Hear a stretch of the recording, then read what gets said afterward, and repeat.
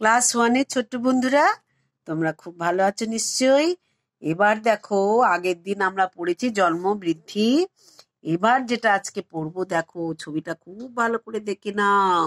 পাতার মধ্যে কিন্তু একটা শোয়াপোকা শুয়ে আছে, তাই তো? এবার আমরা আজকে কিন্তু পড়ব মানে দেখো, কোন পৃষ্ঠাটা দেখো? পঁচিশ পৃষ্ঠা, এই পৃষ্ঠাটা পঁচিশ পৃষ্ঠা। দেখে নিচ্ছি আমরা। এই পঁচিশ পৃষ্ঠার আজকে প্রজাপতির জন্ম বৃত্তান্ত আমরা দেখব।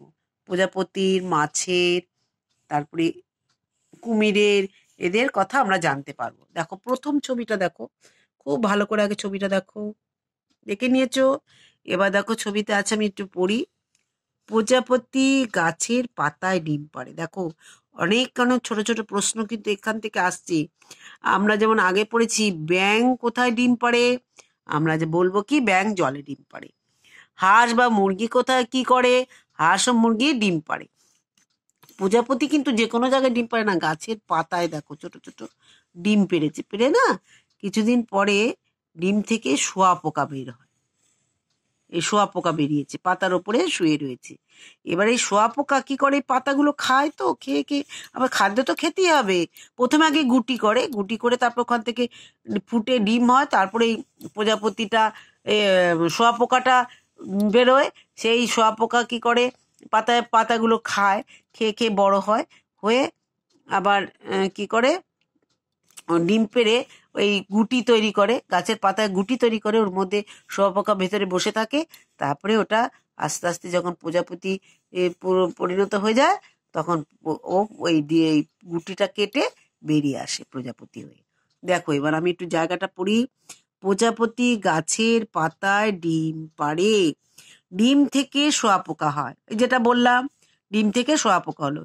এবার শোয়াপোকা থেকে গুটি হয়। এই যে শোয়াপোকা থেকে গুটি হলো।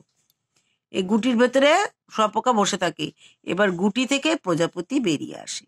তাহলে আমি যদি প্রশ্ন দিই, প্রজাপতি কোথায় ডিম পাড়ে? তোমরা চট করে বলে দেবে প্রজাপতি গাছের পাতায় ডিম পাড়ে।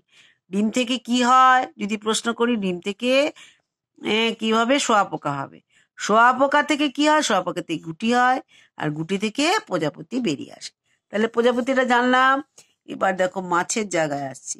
মাছ কি করে? মাছও জলে ডিম পড়ে। ডিম থেকে মাছ চারা মাছ হয় বা পোনা।